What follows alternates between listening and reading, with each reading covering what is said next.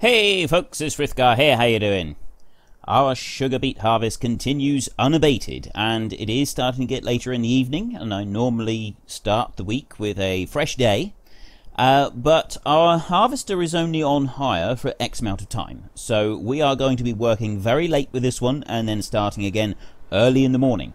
I have been up and down the field several times, and so we've got a nice strip up this end, and now I've set him going round and round the field because he was doing something really odd on the ends of the rows, sort of turning it into a big banana type shape, which was a little bit peculiar. But this also now gives us room, because I asked you quite a while ago if you wanted me to put greenhouses in. So we now have room to put several greenhouses, we'll probably do three of each, something like that, up and down here, and I'm also going to put a placeable heap uh, uh, this end, I expect, and then we'll be able to load up the manure that we got back at the farm, bring it down here and tip it here, and then we can tip it, uh, take it from there with the loader. So the question that I asked you last week was which cultivator did you want me to buy? Because uh, we're going to need to be doing some cultivating soon and I gave you the option of the Väderstad Top Down 500 which is requires a 180 horsepower tractor and it's a 4.8 meter and the Lemken Rubin 9 which is a 6 meter requires 200 horses to pull it. And most of you said the Lemken Rubin 9 so thank you very much to everybody that voted that was fantastic uh, probably more votes last week than we've had any previous question which is absolutely brilliant so please keep that up that is absolutely awesome um, so we will be getting the Lemken Rubin 9, but not today. Now, I have... Oh, hang on. I want to keep that. I have a question for today, and I believe I've still got... Here we go. The Timber Runner. Right. This Timber Runner here, I have the Fliegl Timber Runner. And well, I'm going to be doing some forestry soon, because you've all asked me to do a bit of forestry. Um, this one here is exactly the same as the in-game one, um, the standard one, except that it's had an auto load script added to it. Now, I do intend to load up my um, trailer. I'm going to be using the Timber Runner, and because I don't like using that buffalo thing, uh, I'll be getting a hiring a Scorpion and using that one to cut trees down, and then we will be loading them up with the Fliegl Timber Runner. Um, I'm going to go out this way because I want to go and get the John Deere with the seed drill so that we can start putting some grass down on that top end of the field. Um, so, yeah, do you want me to get the standard Fliegl Timber Runner, or do you want me to get the one with the auto load script? Because if we have the auto load script, it means that we don't have to. We can. We obviously we will do some loading with the uh, loader and the log fork and everything, just to sort of see how it goes. But it does mean that we can speed things up a little bit, and we can sort of overcome some of the issues with trying to unload at the other end. Um, but it's your vote, it's your game. You let me know which one you want, with or without the auto load script. Now, I'm almost there, so we will trot down through this path here. We've got quite a bit of manure. If you have a look, we've got 69, we've got almost 70,000 litres of manure here. Um, we've got over 300 eggs. I must remember when we get the next lot of sugar beet down there to empty that out. And this manure pile is getting rather full.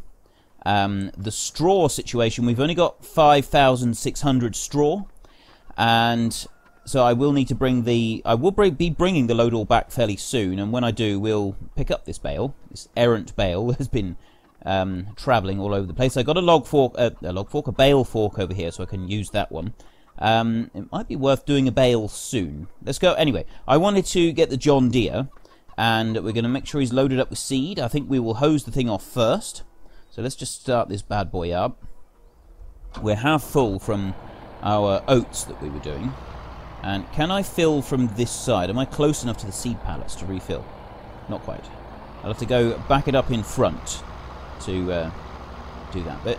So let me just come over here. There we go. And I will back it up down here. There we go. Right, and I won't be moving the manure down there this time. Um, that'll probably be in the next episode. We will get the smaller Marshall trailer, I think, and we'll use that one. And we can transport the manure there down into the field over there where our greenhouses are going to be situated. At the moment, we've got just on. I think the greenhouses are 25,000 each. And ultimately, I would like three of each. So I don't know when we're going to be able to get them. I was going to be hiring a JCB so that uh, I could use that to empty everything up at the BGA. And I've got plans to make more silage. Uh, we got we got quite a lot of stuff that we want to get done because we also want to make hay so that we can start feeding mixed feed to all the animals. And something I'm not sure of yet is do the beef and pigs take standard mixed feed? And if they do take mixed feed, um, is that going to mean that they won't need the root crops or anything like that anymore? I really not. I'm really not sure about that. That's something that we will find out soon. And I've also got to decide which feeder to get all the animals. Do I get one of the standard game ones or do I get a modified one? I've got one that I was using in the time-lapse series, which has got a 60,000 litre tank. But the machine hasn't been made any bigger to sort of make it look bigger. So I'm not sure if that'd be realistic enough. I have found a mod that has got a trailer, a trailer ones, a trailed version, that is... I can't remember how big it is, but it's a huge, great big tank on it and I think that one might be suitable for this map. Um, it is a really big tank on it, but at the same time, we our herd is growing. We have 70 cows so far. Hang on, hang on. Oh no, I didn't want to actually climb out. I just wanted to zoom out. There we go. So uh, that one. There we go. There's my beacons. We mustn't forget to put the beacons on. And right now, let's check for traffic. And here we go. Can't actually see the indicators in here. I will... Let's just pop out again. You can see, I'm using my indicators as well. Let's see if the lights are... Yeah, the lights are on the um, seed drill as well. That's brilliant. I like that. Right, let's turn those off. We go back in cab. Now, I'm going to take this one up and we can then start drilling. What I'm going to do is I'm going to find a suitable point on this side and strike out in a straight line all the way across. Uh, 63%. We might actually go and empty out that one and sell the load first. Right, let's pull in here. This John Deere has actually worked really well for pulling the seed drill. I did think that it, originally I thought it was going to struggle with it quite a bit, but it hasn't. It's done really well. It's, it's actually managed to tow this one along without any trouble whatsoever. So if I pull up here, sort of get it lined up roughly where I think I'm going to want it. Because I'm going to want space to get around the greenhouses. Um, and it's not like we got a major... Hang on, I can turn those beacons off now. It's not like we've got a major shortage of uh, fields for crops. So I don't have to be stingy with it. I think we'll sort of take it around about there, something like that. Right, I'm going to walk over to the... Switch that one off now. And open the door.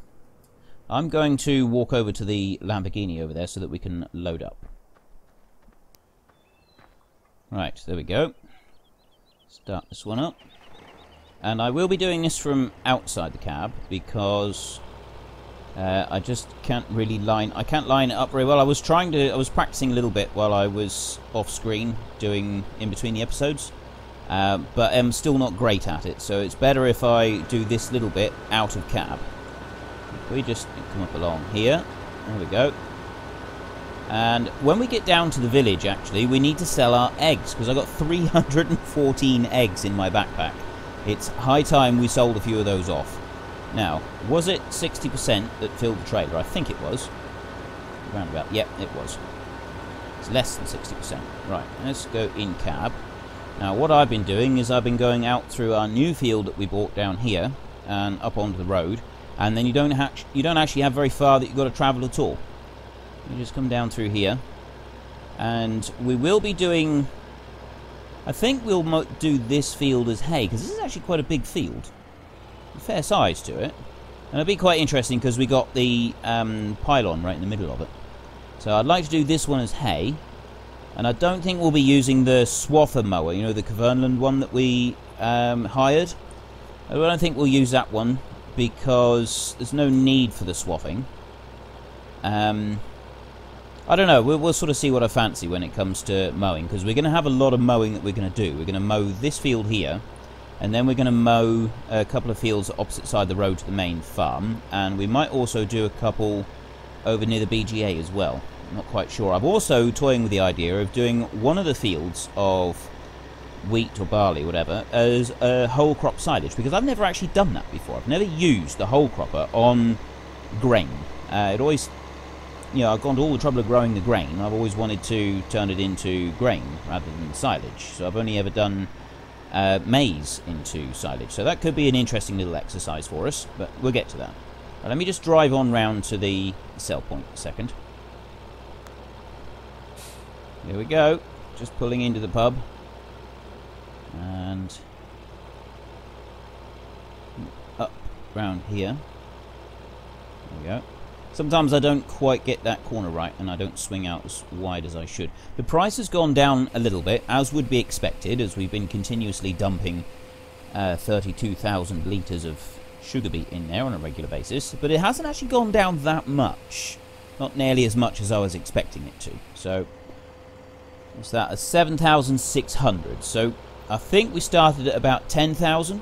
So it's not brilliant, but we are still getting a good price and it's better than storing it, I think. I think storing it would... Well, I might store a bit more, and we might hold on to it for a, a sale, but I'm not sure. Right, 314 eggs. Three and a half thousand pounds. That's not bad. If only eggs paid that much in real life, chicken farmers would be the wealthiest people on the planet. Um, right. I'm going to drive this back over to the field, and then we can get started on that um, drilling. Actually, we want to get that that section grassed out, ready for our greenhouses. Okay, the plan was to start the drilling while we waited for this to fill up, but uh, real life intruded, and I had a phone call, so I had to answer it. And by that time, it's almost just about ready to empty. So we will do this one once more. I will rush this back down to the shop and then come back up here. Um, I don't think you, I need to show you how this is done because you've seen it so many times. We'll just come down here and nearly finish this bit. There we go, that's 100%. Right. I will take this to the shop, I will sell it, and then I will uh, come back and we can start that uh, plant, planting the grass, the sowing.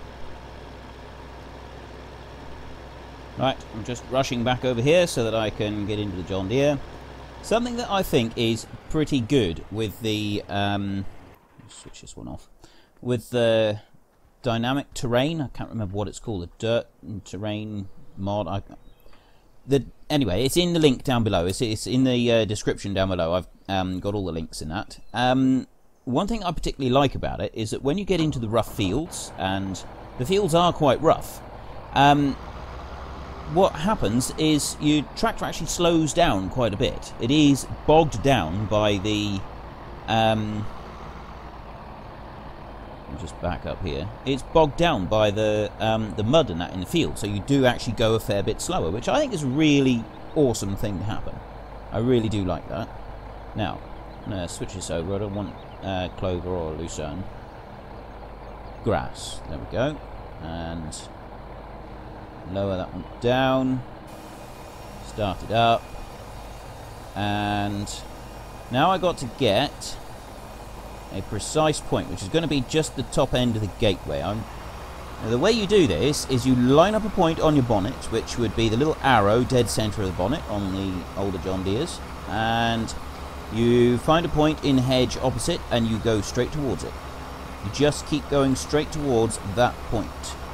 So that's what I'm going to do. And if you're any good at it, you'll be able to get a dead straight line. Sometimes you won't though. Sometimes you'll sort of look slightly wrong. You'll you'll make a mistake with it somewhere, and you'll have a bit of a curve. Uh, the best one I heard was this fellow was doing. He lived near the coast, and he was cutting a long slice up through the field, through the middle of the field, when he was ploughing actually. So ploughing, you used to have to get dead straight, and he was doing this with horses as well. So he fixed his point on the horizon, um, which was this tall mast, and he followed that point. Right, let me just go as close as I, there we go. That's as far as I can get. He followed that point, and when he got to the end of the field, he realised he'd made a huge, great big banana of a shape. That's fairly straight. Yeah, that's not too bad. But yeah, he realised he'd made this huge, great big banana of a shape. And the reason that he had was because the mast that he was looking at was on a boat that hadn't actually been anchored. So he ended up uh, sort of moving halfway across his field while he was trying to follow this point. which was quite amusing. I did I did quite like that story. So always be careful what point you fasten onto that it's not actually moving across the end of your field. Now then, we're going to grass this out. What I'll do is I'll do this uh, one line up here. I'm going to do a couple bits across each end, like I normally do. And then I'm going to just leave the uh, hired help to just finish grassing this little piece out. I don't think we need to help it out very much. I think it looks fine.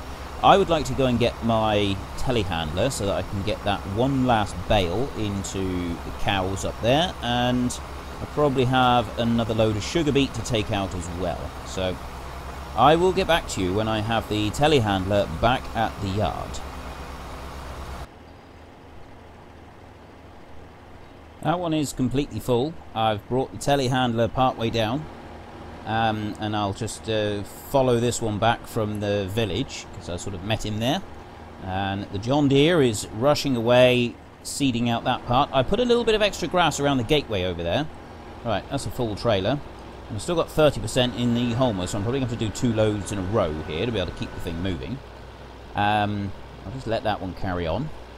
And we've also got a full pallet of wool down with the sheep, so I'm going to need to take the telehandler down there fairly sharpish to empty that one out. So I want to, I did want to use it to do a bale up in the yard first, but I think I might go straight down and sort out the sheep first, and then go back up to do the bale.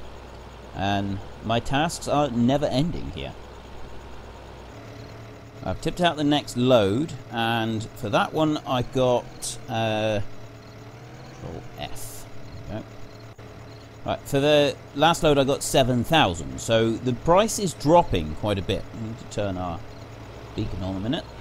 Price is dropping, and I'm beginning to wonder if perhaps we should store the rest, because 7,000 load isn't a huge amount. I mean, I know that we are st we're still getting money for it, and money is always good, but, you know, we then got to sort of weigh things up a bit. So I might get a, um, a placeable heap put it in the field and tip the rest of the sugar beet out there, right in the field. And then we can load it from there and either take it up to the store or take it over and sell it if we happen to get a, a sale or something like that. I'm not quite sure yet. So, um, that's to be decided. I'll, I'll have a think about that because I'm not going to empty out the Holmer again tonight, or in this episode anyway. I'll do a few more overnight and I'll let you know what I decide. And actually if I stop here that machine is following me isn't it? So if I stop here put his lights on and I'm going to take this one back out onto the road so it'll be a bit faster driving along the road and I can get down there and deal with that pallet of wool. The John Deere is finished for a minute probably not completely finished there's probably a bit of a stripe up the side of the field for it still to do uh, but he's done most of it. So we are ready for our greenhouses. And I'm thinking that we might actually sell all the silage so we can get as many greenhouses as possible to start with. Uh, we'll decide, we'll sort of work on that one in the next episode. Right, let me get down to the sheep. Alright, just got to line up the forks a second. There we go. And pick that one up put this into the shed. We got four in here now, actually, so it's about time that we brought the trailer down and we sold them. I'll probably get a couple more in here yet, but we are getting very close. It's sort of something that we'll do when we think about it, and we've got a little bit of spare time, but for now, we're not going to worry about it. So I will take the bucket back up to the main yard, and I might have just enough time to put a bale in for the cattle, and then that's going to be it for this episode. Let me just get this loaded on and I'll meet you back at the main yard. Uh, I was going to meet you back at the main yard, but then I thought actually it'd probably be better if we just come down here and check that this grass is finished. And we can sort of finish up from down here. We're going to have a couple of little patches just here, like you normally do on the headlands. Let's just start that up and we can tidy these little bits up. And we can go down to the other end and see if there's any strip down side that has been missed. So we've got a nice big piece of grass out here, and it's this is about the most level spot that I can find. in the entire map. So I'm hoping that this is going to be enough that we can get our greenhouses out and we can access them properly. Because remember, we've got to bring water down to them as well as manure. So we could have our work cut out if they're not on level slopes. We've got a couple of little strips up here, but overall it's actually really neat and tidy. I'm quite impressed with that. Come up through here. I'm only going to keep the um, path from the gateway down there. I'm not going to do one from that gateway. So that will be our access point up that end. Just tidy up these last couple of bits. There we go. Right, that's job done. That is a nice, neat and tidy finish. Uh, I think what we'll do, actually, is tomorrow I could get started on some more planting. Because while I was uh, in between episodes, uh, that field up there, field 42, it's not actually planted yet. It's still stubble from the canola. But that one I went over with fertilizer. So that one's fertilized. We've got 5 and 15 ready to harvest now. 31 is planted. I'd like to buy that one and that one and harvest the potatoes and the maize up there. I'm thinking that 16 is going to be planted with maize so that we can do a clamp of silage back at the yard with that and some of the grass fields as well. Um, and we've got planting that we need to do in 42, 11 and 7. So I'll probably get some planting going with this tractor. And where are we? Oh, I parked the Lamborghini in the other field, didn't I? So while I drive down there and start taking this one back to the main yard, the question for this week is the Fliegl Timber Runner and I'll show you this one here. There we go, the Fliegl Timber Runner. I have this one, which is the um, modded one, which has a script on it. Now, the script is an auto load script, which will allow me to just move alongside the logs, and that's a standard one. There is no different whatsoever, see? The only difference is that script. It will allow me to move alongside logs and automatically load them, and automatically unload them at the other end. And I won't do it all like that. I promise I will use the log fork and the loader to actually load some of the logs up properly, but I figured that it could save time when we've got a pile of logs there, so we can load some with the loader, and then once we've sort of seen that, we can save a bit of time by using the auto load script. But it's your vote, it's your game. Head down below and let me know which one you'd prefer, with or without the auto load script. Now, I'm going to run this one back to the farm before I come back to unload the Holmer. Um, you know, thinking about it, we might as well just tip all of the sugar beet into the uh, to sell it all. I might actually take another load or two up and store it so that we've got it for the animals to eat, but uh, I think we'll just sell all of it and not mess around with um, putting it in the field or anything like that. Uh, but I think that's about all I've got time for today. So, if you've enjoyed this episode, then please head down below and give us a like. And if you really enjoyed it, please tell your friends all about me. Get them to watch as well, because that would be awesome and would really help me out. Um, until next time, thank you very much for watching. This is Frithgar. Goodbye, and see you later.